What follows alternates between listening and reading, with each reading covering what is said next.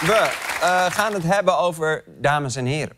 Want deze week ging de Nobelprijs voor Economie naar Claudia Goldin... voor haar onderzoek naar de loonkloof tussen mannen en vrouwen. En ze was er zelf niet voor opgebleven. In Zweden is de winnaar van de Nobelprijs voor de Economie bekendgemaakt. En die gaat naar de Amerikaanse econoom Claudia Goldin. Vanwege het tijdsverschil lagen zij en haar man nog te slapen. Ze hadden dus geen idee. Afgelopen nacht is de Amerikaanse econoom Claudia Goldin in haar slaap vredig Nobelprijswinnaar geworden. En die loonkloof die blijft een belangrijk onderwerp, want vorige week las ik dat die weer groter is geworden. Dat is slecht nieuws. Uh, aan de andere kant las ik eerder dit jaar ook dit. Mannen vinden dat ze het zwaarder hebben dan vrouwen in Nederland. En dat is opmerkelijk, want mannen verdienen meer, maar toch hebben vier op de tien mannen het gevoel dat hun positie onder druk staat in Nederland. Maar wat is het nou? Hebben mannen het echt zo zwaar of hebben vrouwen het veel zwaarder? Ik kom daar niet uit en daarom stel ik voor dat we het voor eens en voor altijd gaan uitzoeken door middel van een waardig debat. Het is tijd voor. Een twistgesprek, tijd voor een discussie. Een twistgesprek, met tekst Jonathan. Ja, tijd voor een. Uh voor een twistgesprek met de Tex Wit en Jonathan van het Reven. We debatteren dus over de vraag... wie hebben het zwaarder in de maatschappij, mannen of vrouwen? Uh, Tex, waarom sta jij trouwens op een perron? Uh, ja, ik uh, moet zometeen de kinderen van school halen. Maar, maar het is half elf s'avonds. Ja, het is allemaal niet ideaal. De juf is ook niet heel blij met me. maar ja, dit is hoe het leven van een moderne vader eruit ziet, hè? oh, ik proef meteen een beetje dat jij vindt dat mannen het zwaarder hebben dan vrouwen. Nou, inderdaad. Kijk eens eh, bijvoorbeeld naar dit. Mannen werken gemiddeld 10 uur per week meer dan vrouwen. 10 uur per week. Op een heel werkleven is dat 20.000 uur. Daar had je 8 miljoen keer de goal van Dennis Bergkamp van kunnen terugkijken. Neem jij dan de paas van Frank de Boer ook mee? Ja, natuurlijk neem ik die mee. Ja.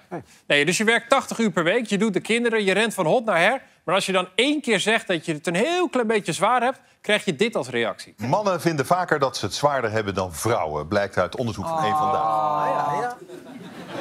Ja, ja, de vrouw die hier oh, zegt, dat is Eva Jinek. Een vrouw die zelf maar drie weken per jaar werkte... en zich de rest van het jaar liet vervangen door Renze, Bo, Humberto... of andere mannen die wel bereid waren om de handen uit de mouw te steken. Oké, ja, punt gemaakt. Uh, Jonathan, Tex zegt dus, mannen hebben het zwaarder. Ja, ja, het is precies wat Tex zegt. En je moet bedenken dat mannen ook nog... Vooral, mannen doen vooral het zware werken. In de bouw, in de scheepvaart. Vrachtwagenchauffeurs? Ja, inderdaad. Vaak ook s'nachts. Oh. Nee, nee, mannen hebben het niet makkelijk. Nee, helemaal eens. Oké, nou, dan zijn we eruit, denk ik. Uh, iets korter twistgesprek dan normaal, maar ja, dat geeft helemaal niet natuurlijk. Nee, ik vond het een respectvol debat. Hm. Ja. Fijn dat dat nog kan op televisie. Ja precies, precies, dat je gewoon met begrip voor elkaars mening... Jij zegt mannen hebben het zwaarder, ik zeg vrouwen hebben het makkelijker. Nou ja, even goede vrienden. Ja. Zo kan het ook dus. Ja, het is vaak zo zonde als mensen elkaar de meest onbenullige meningsverschillen... meteen in de haren vliegen. Precies, wat je nu ook weer ziet in het Midden-Oosten. Het gaat eigenlijk helemaal... Ja. Hey. Oh. Uh, sorry, misschien moeten we heel even... Oh, ja, Janine Abring, eindredacteur, die loopt nu het beeld in. Wat is er, Janine? Is er iets mis? Nee, nee, er is niks mis. Oh, oh, ja, nee, ik zit mee te kijken en dit slaat gewoon helemaal nergens op. Dus tekst. Misschien kan jij even je kinderen gaan halen? Ja. Uh, neem ik dit even over. Kijk, ten eerste worden vrouwen nog altijd minder betaald voor hetzelfde werk. ja, dit gezeik ken ik allemaal. Tot ziens. Plus, vrouwen worden vaker kapot gemaakt op social media. Ze zijn veel vaker slachtoffer van seksueel geweld. Ja, ja, ja oké. dus, dus wat dat betreft... Uh... Daarnaast doen vrouwen ook veel vaker onbetaald werk. Uh, meer mantelzorg, kinderen opvoeden, dingen mee naar boven nemen... die door mannen op de trap zijn gelegd. Om...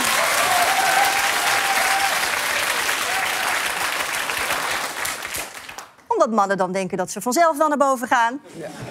Weet je hoeveel tijd daarin gaat zitten? Hè? Daar kun je 8 miljoen afleveringen van Sex and the City van kijken. Ja. Is dat ook weer inclusief de paas van Frank de Boer? Nee, dat is met Sarah Jessica Parker. Oké, sorry. Oké, paar dingen. Ten eerste, volgens mij mag dit helemaal niet... dat je van speler wisselt in een twistgesprek, maar goed. Ten tweede, Janine, jij noemt mantelzorg. Maar wist jij dat vrouwen ook veel vaker mantelzorg ontvangen? Hier, vrouwen boven de 55 krijgen twee keer zoveel mantelzorg als mannen. Twee keer zoveel. Ja, Nee, maar mantelzorg wordt dus ook vaker gegeven door vrouwen aan vrouwen. Ja, precies. Dus die oude vrouwen die spelen elkaar de mantelzorg toe. Dat is een, een old ladies network waar je als man helemaal niet meer tussenkomt. En de man die blijft achter in een onopgeruimd huis. Oh, Oké, oké, oké. Eh, Vrouwen krijgen meer mantelzorg. Maar eh, dat, is dat ook niet gewoon omdat vrouwen gemiddeld ouder worden? Ja, nog zoiets. Vrouwen in Nederland leven gemiddeld drie jaar langer dan mannen. Moet je je voorstellen, nog drie jaar lang de erfenis van je man opzuipen... en je laten, ja, en je laten vetteren door de meiden van de mantelzorg. Ja, dat willen we allemaal wel. Ja, klopt. Jullie leven korter, maar daar maken jullie het ook zelf naar. Kijk maar. Vier. Vrouwen leven langer, want ze roken minder, ze eten gezonder en ze nemen minder risico's. Dus ja, mannen leven gewoon korter doordat ze meer risico's nemen. Kijk even mee. Daar is echt onderzoek naar gedaan door de Universiteit van D- Dumpert.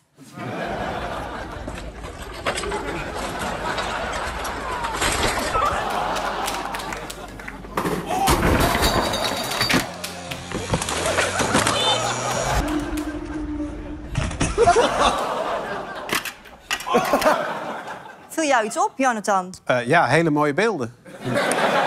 Ja, en allemaal mannen dus. Ja, ik zie hier vooral mensen die proberen om grenzen te verleggen. Nieuwe werelden verkennen. Nieuwe, nieuwe werelden verkennen. Ja. Het was gewoon een dronken gast die over fietsen heen liep. Ja, nou, je moet dat toch uitzoeken? Ik bedoel, wat is sneller? Over de stoep lopen of over de zadels van andermans fietsen? De enige manier om daarachter te komen is door het te doen, Janine. En stel je nou voor, stel dat dit een succes was geworden, hè? Dan hadden we alle voetpaden vervangen door andermans fietsen. En daar had jij dan ook van geprofiteerd.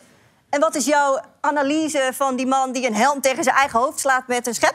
Ja, oké, ja, er gaat wel eens iets mis. Ja, nou ja, dan levert dat weer grappige filmpjes op... die vrouwen kunnen gebruiken als ze geen argumenten meer hebben.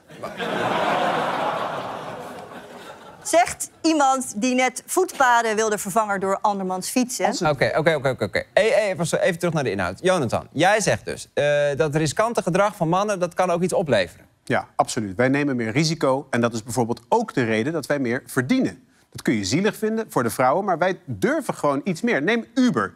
Hier, kijk. Mannelijke chauffeurs van Uber rijden harder en verdienen daarom meer geld. Ja, mensen willen gewoon iemand die een beetje doorrijdt. Janine, jouw favoriete Uber-chauffeur, dat is toch ook Crazy Donny? Voor de zoveelste keer, hij heet Crazy Ronnie. Crazy Ronnie, dat is jouw visio, toch? Nee, nee, mijn visio is Horny Ronnie. Oh, ja. Luister jij überhaupt wel eens als ik iets vertel? Oh, Oké, oké, oké. Dit, is- dit is heel veel informatie. Misschien wel iets te veel, eh, trouwens. Maar Jonathan, ook buiten Uber verdienen vrouwen natuurlijk vaak minder dan mannen. Ja, nou, Maar ja, mag ik daar iets over zeggen? ja. Ik zei net al, vrouwen verdienen dus veel minder dan mannen. Ook vanwege parttime werk en zo. Maar dat alles telt wel behoorlijk op. Hier. Over welke bedragen praten we dan? Wat lopen wij vrouwen gemiddeld nou mis? Ja, het hangt er een beetje vanaf hoe je het eh, berekent. Maar in een werkend leven gemiddeld zo'n 300.000 euro. Drie ton. ja dus, dus waar hebben we het over? Nou, eh, drie ton is toch best wel veel geld, Jonathan? Arjen, geen dingen zeggen die je niet meent. En trouwens, trouwens, waarom zijn vrouwen altijd zo gefixeerd op geld? Is er niet iets veel en veel belangrijkers in het leven? Stuurbekrachtiging? Nieuwsuur? De liefde, mafkezen, de liefde. Daar hebben mannen het pas echt zwaar. Ja, omdat ze op een eerste date altijd vier uur lang praten over Ronald Schoonhoven. Wie is Ronald Schoonhoven? Iemand met wie ik een keer een date had. Is dat de echte naam van Horny Ronnie? Absoluut niet. Oké, oké. Prima, maar echt, echt, echt. Mannen hebben het zwaarder in de liefde. En dat komt doordat er steeds meer hoogopgeleide vrouwen zijn. Hier, kijk maar.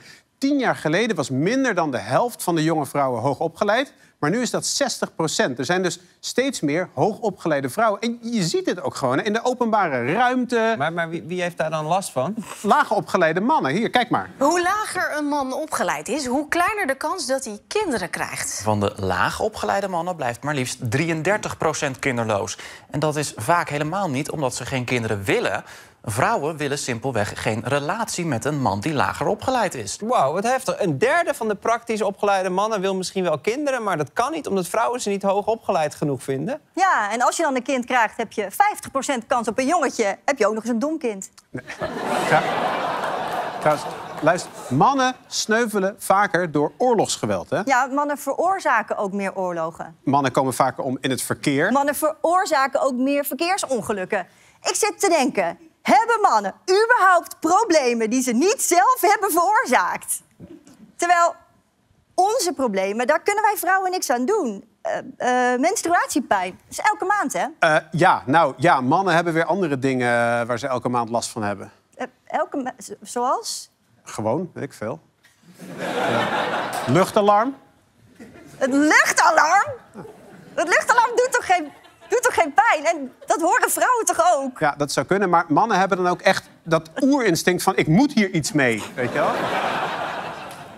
Vrouwen lijden ook vaker aan depressies trouwens. Ja, en wie moet daarnaast zitten? De man. Ja, oké, jongens, jongens, jongens, jongens, jongens. Wacht even. Mag ik even iets vragen? Waarom wil iedereen het nou zo graag zwaarder hebben dan de ander? Het, het leven is toch geen zieligheidswedstrijdje? Waarom zeggen we niet gewoon... mannen en vrouwen hebben allebei hun uitdagingen in het leven... en laten we elkaar daarin steunen? Want uiteindelijk zullen we toch samen moeten doen op deze wereld. Mhm. Ja. Zorgkosten is ook nog zoiets. Or orgasmekloof. Mannen komen vaker om bij de moord op Pim Fortuyn. Zijn ook vaker dader bij de moord op Pim Fortuyn. Ongeluk op de bouwplaats. Straatintimidatie, misogynie. Femicide. Hè?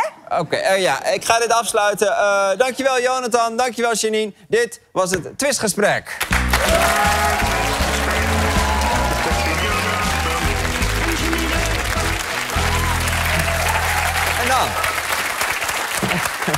Dan? Gaan we snel door met iets eh, heel anders. Mannen zijn beter. Ben ik nog op tijd? Wat? Hé, hey, Tex, waar heb je je kinderen opgehaald? Dat was het. Ja, oké. Oké. Succes, Tex. Klik op de link en kijk hele afleveringen terug op NPO Start. Mijn oma die keek ook altijd NPO Start en die is 96 geworden. Tuurlijk, dat is anekdotisch bewijs, maar je kan het ook niet negeren. Maar